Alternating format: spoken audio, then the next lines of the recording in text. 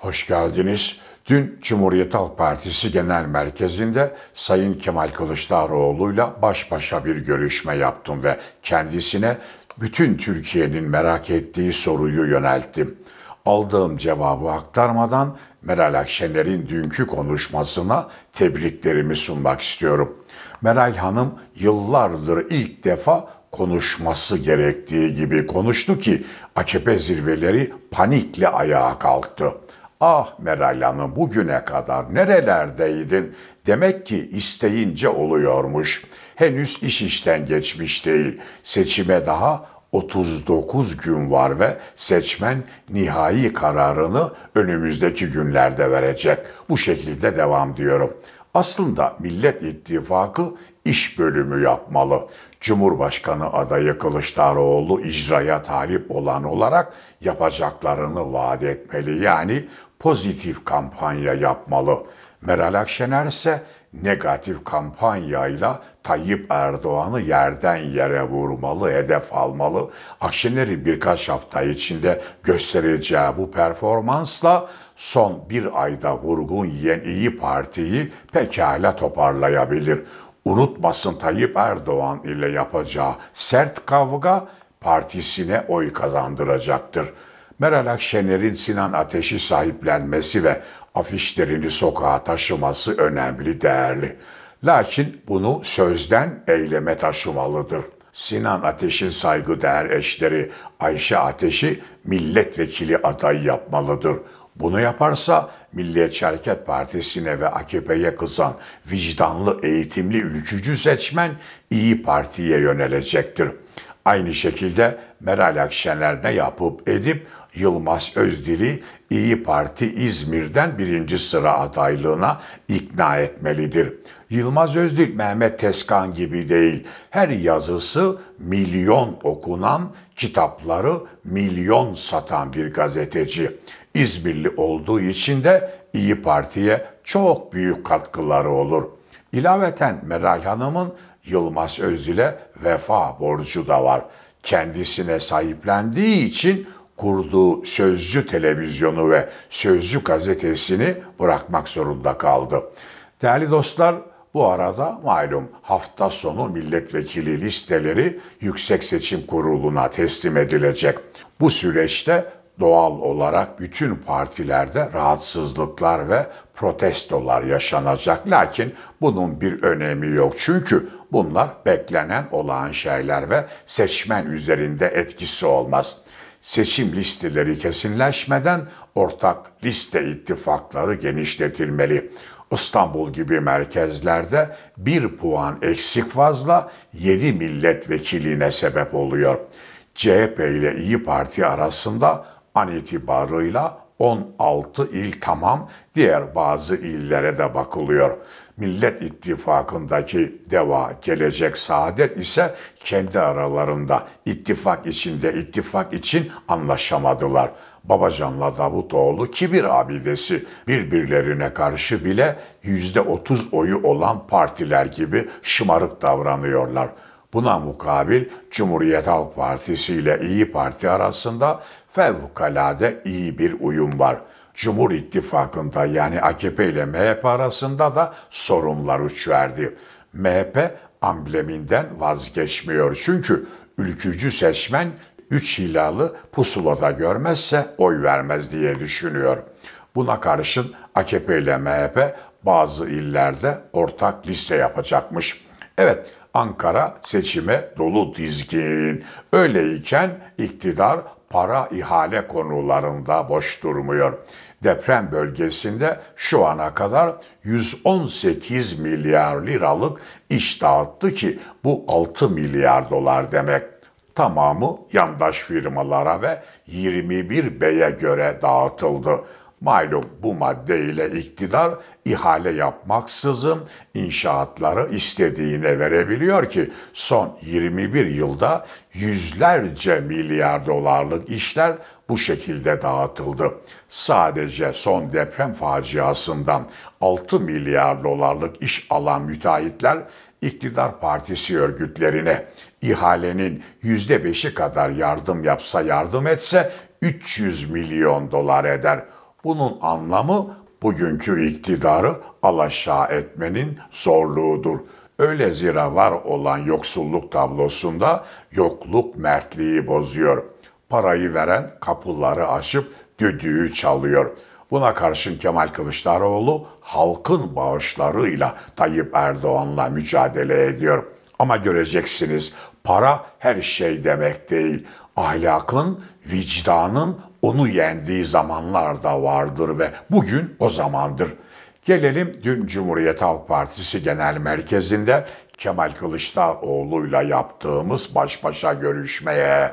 Pardon önce bir tespit ve hak teslimi yapayım. Sayın Kılıçdaroğlu dün akşam Habertürk'te müthiş bir performans sergiledi. Devlet adamı nasıl olunurun dersini verdi. Gerek eleştirileri gerek teklifleriyle tam puan topladı. İstismar ve ajitasyon yapmadı. Açık, net hedefler ortaya koydu. Bizim baş başa yaptığımız sohbette konuşulanlar Habertürk'te de gündeme geldiği için tekrara girmeyeceğim ancak bazı hususların altını çizeceğim. Kılıçdaroğlu seçimi kazanmasıyla beraber Türkiye'ye çekeceği yabancı sermaye noktasında çok iddialı, çok umutlu ve bugünden mesafeler alındığını öğrendik. Para ve sermaye olmazsa olmaz. Çünkü Türkiye yeni kaynak bulamazsa döviz ve ödemeler dengesi krizine girip temerrüte düşecek. Buna paralel olarak ithalat yapamayacak ve 45 yıl sonra ülkemiz kuyruklarla, kıtlıklarla yeniden tanışacak. Uluslararası sermaye ve fonlar Tayyip Erdoğan'a inanmıyor, güvenmiyor, rejiminden korkuyor, ürküyor. Erdoğan'ın kendini inkar edercesine kovduğu Mehmet Şimşek'e ekonomi yönetimini teslim etmek istemesi de bundan. Şimşek evet hayır arasında velev ki kabul etse bile ki o yönde belirtiler var. Batı sermayesinin Erdoğan'a bundan sonra yeşil ışık yakması çok zor.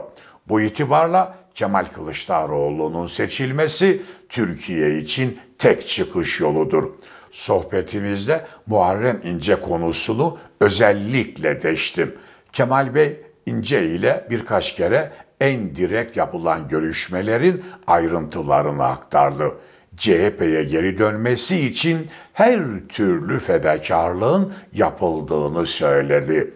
Ancak evet cevabının alınamadığını da ifade etti.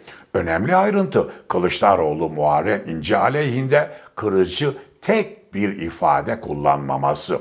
Öyle ki benim kulis fısıltısı olarak aktardığım bir iş adamı tarafından ikna edildiği ve Tayyip Erdoğan'dan bazı sözler aldığı duyumlarıma sustu, yorum yapmadı. Doğu Perinçek'in Muharrem İnce tavşan aday, muhalefeti bölmek için aday yapıldı beyanlarına da sadece gülümsedi. Özetle Muharrem İnce konusunda fazla bir ümidi yok. Lakin kapıları da kapatmadı, kapatmıyor. Kılıçdaroğlu bu arada iktidar çevrelerinin iddia ettiği gibi HDP'ye gizli sözlerin verilmesinin asla söz konusu olmadığını da söyledi. Sohbetimizde seçim güvenliği bağlamında da alarme olduklarını ve her şeyi an be an takip ettiklerini ifade etti. Edindiğim izlenime göre seçimin son düzlüğünde Kemal Bey'in bazı sürprizleri olabilir. Peki görüntüsü ve havası nasıldı derseniz ben Sayın Kılıçdaroğlu'nu onlarca yıldır tanırım. Fevkalade rahat ve de özgüvenliydi. İşin zorluğunun ve ciddiyetinin farkında lakin seçimi ilk turda kazanacağını düşünüyor. Bu arada merkez sağ ve ülkücü seçmenden çok iyi tepkiler aldığını öğrendik. Kemal Bey ötekileştirici, agresif seçim kampanyası yerine akla, vicdana ve gönüllere dokunmak istiyor. Kampanya boyunca meşruiyetten ve ahlaktan ayrılmamaya kararlı. Hülasa Cumhuriyet Halk Partisi Genel Merkezi'nden umutlarımı arttırmış olarak ayrıldım. Kemal Bey'le görüşmeden önce özel kalemde karşılaştığım seçim kampanyası direktörüne Kılıçdaroğlu ailesinin neden öne çıkarılmadığını sordum. Bakın doğruya doğru. Kılıçdaroğlu ailesi 85 milyonluk Türkiye ortalaması gibi mütevazi yaşayan örnek hatta model bir aile. Ana muhalefet önderi olmasına rağmen çocukları medyada bir gün olsun malzeme olmadı. Hiçbir pisliğin içinde bulunmadı, görünmedi, duyulmadı.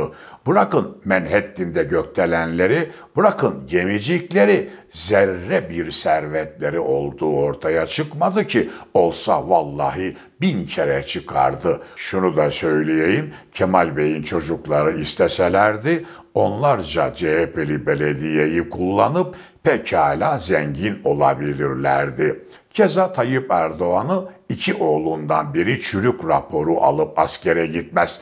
Oğlu bedelli yaparken Kemal Kılıçdaroğlu'nun oğlu bedelli hakkı olmasına rağmen tam askerlik yaptı. Aynı işe olsa AKP çevreleri vallahi bizim oğlumuz çürük raporu almadı, bizim oğlumuz bedelli askerlik yapmadı, Kemal Kılıçdaroğlu'nun oğluna bakın diye meydan meydan istismarlar yaparlardı. Halbuyken Kemal Bey ailesini ısrarla geri planda tutmakta kararlı. Değerli dostlar, Kılıçdaroğlu cenahında durum bu iken iktidar cephesinde panik hali var. Tayyip Erdoğan Kılıçdaroğlu'nun emekliye 15 bin lira ikramiye sözü ile adeta abondone oldu. Neymiş efendim? AKP olarak emeklinin sürekli yanlarında olmuşlarmış. Hayır doğru değil. 2000 öncesi emekli maaşları ve bugünkü emekli maaşlarını dolar ile kıyaslarsanız birkaç misli bir farka tanık olursunuz. 15 milyon emekli an itibarıyla 9 bin lira olan açlık sınırı altında maaş alıyor. Keza Tayyip Erdoğan yine dün akşam yandaş kanal ekranına yansıdı. Sırrı Sakık gibi bir HDP'liden medet umar haldedir. Sakık'ın montajlı konuşmaları yayınlanıp saptırmalar ve ajitasyonlar yapıldı. Kılıçdaroğlu seçimi kazanırsa güya Apo'yu ve PKK'lıları serbest bırakacakmış. HDP'ye de bakanlıklar verecekmiş. Bakın böyle bir şey yok. Kemal Bey Habertürk'ün canlı yayınında sorulan bakanlık verecek misiniz sorusuna hayır dedi. Buna rağmen olmayanı uydurup bir de üzerinden yorum yapıyorlar. Sadece o da değil. Dün akşamki programda yine montajlı görüntülerle Kemal Kılıçdaroğlu'nun dini istismar ettiğini bile iddia edebildiler. Kılıçdaroğlu ve din istismarı. Bakar mısınız komediye? Yakındır. Turgut Özal'ı Kılıçdaroğlu zehirledi bile diyebilirler. Ancak Ahmet Özal dün o yolu kesti, desteğim Kemal Bey'e dedi. Bakın Kılıçdaroğlu her ikisinin oyuna talip olduğu için bu tür tartışmalara girmemeli. Lakin Meral Akşener Tayyip Erdoğan'a benim burada sürekli olarak sorduğum soruları sormalı. Ey Tayyip Erdoğan, valilere emir verip PKK'ya operasyonu yasaklayan sen değil miydin demeli.